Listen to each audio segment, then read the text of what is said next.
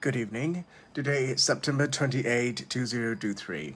The title of my two minutes encouraging sermon is Our Sacrifices. Our Sacrifices.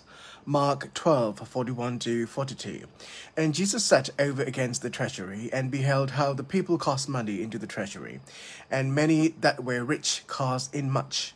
And there came a certain poor widow, and she threw into two mites, and which makes a farthing. So, everyone knows about this widow giving only two coins.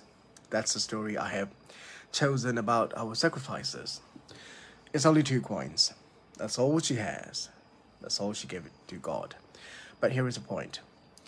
The treasury that is spoken of here is a place located in the women's court that was in the temple complex but was not part of the temple itself.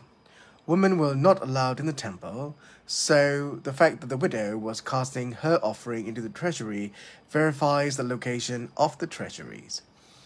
Jesus used Jesus used this instance to teach his disciples a very important lesson. He did not say these things to this widow personally.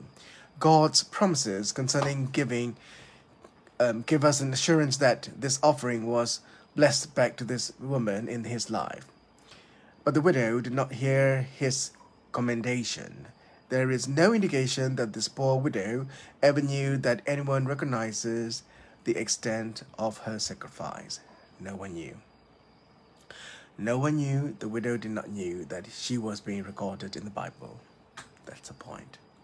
Likewise, there are times we may feel that no one knows or appreciate our sacrifices. However, just as surely as Jesus saw this woman's giving and knew of the sacrifice involved, God takes note of our smallest deeds and one day will reward us openly. One day, He will reward us openly for all these sacrifices you have paid for the Son, for the glory of Christ our Lord Jesus, and for the glory of God the Father. The Lord does not judge the size of our gifts by how much we give. This is very important. The Lord does not judge the size of our gifts by how much we give. Are we giving 1,000 or 10,000 or 30,000? God is not looking that. But rather by how much we have left over after we give. That's extremely important. I'm going to repeat that sentence again. The Lord does not judge the size of our gifts by how much we give, but rather by how much we have left over after we give. After we have given, how much we have left. That's extremely important. That's what God is interested. Men tend to compare themselves with each, each other, but the Lord doesn't judge our giving by what others give. Men compare each other, compete each other by being famous, by being well known, by being accepted, well accepted in the church, all these drama. But God doesn't look at that. What God is looking is the motive behind giving, your heart, your attitude. With what attitude are you giving? With what attitude are you giving that to the poor, the needy, to the Lord? The attitude, the attitude is extremely important. It's not the amount he is interested, it's the attitude he is interested.